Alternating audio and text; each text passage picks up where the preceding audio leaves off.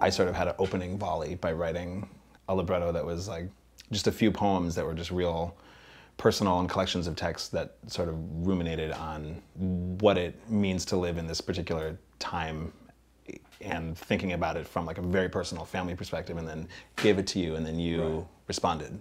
I feel like this piece started with you saying, I want to explore these questions, and these questions have to do with me as this white guy who grew up in Chicago with this music, living in Fort Greene, wanting to be critical of my privilege and also understand how I can engage. Of course, I remember, uh, like I said, first thinking about like, okay, here comes that gentrification thing again. Everybody wants to talk about gentrification. Okay.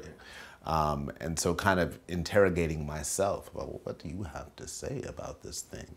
So the first thing I, I heard when I read, you know, what you wrote was this chorus of, of all these women of color going, what about my son? What about my son? My son? What about my son? What about my son? What about my son? What about my son? What about my son? What about my son? What about my son? What about my son? What about my son? What about my son? What about my son? What about my son? What about my son? What about my son? What about my son? What about my son? What about my son? What about my son? And then I looked at these um, pages, these wonderful pieces of poetry, interrogation, questioning, provocation, and I said, how do we put that in one container? So what you'll see in the beginning is the piece is pretty zoomed into you, the orchestra, the singers are up, but they're intentionally removed. And then part two, that breaks apart and the singers come down and they take center stage. And then we hear from the democracy of the chorus. And, uh, and then the third part um, really zooms back in, but to somebody who I think we didn't expect the story to follow. And I think when we were first meeting, we were around the LA Phil and we were thinking about gentrification in Fort Greene, where BAM is, around where the LA Phil is.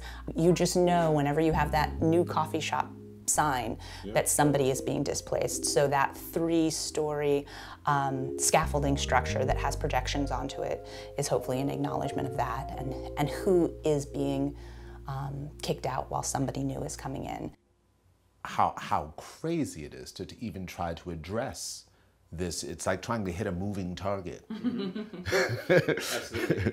you know, uh, the subject matter uh, with you know all the tools that we have, which which are these what 18 musicians and, and a wonderful director and, and you know because I've I've been to performances and and and I pay attention to who's represented in those orchestras in those philharmonics and and who you know and and what have you and who's not as represented or what have you. And and so representation matters Oh yeah, and who's represented in the audience? Yeah, And where and you know what is yeah. this like? Who is in this theater and Yeah. who is at Disney Hall at the Yeah. at the LA Philharmonic and who's uh, on that stage And what was it? What was in that space before that building? Yeah, you know, I mean, you were always talking about that when before we started any of this. You know, to turn the to, to, to turn the lens on ourselves, or to really to really um, hold ourselves accountable, is the only way that we're gonna um, really understand our role in this in this Right. society, or like how we can change what we don't like.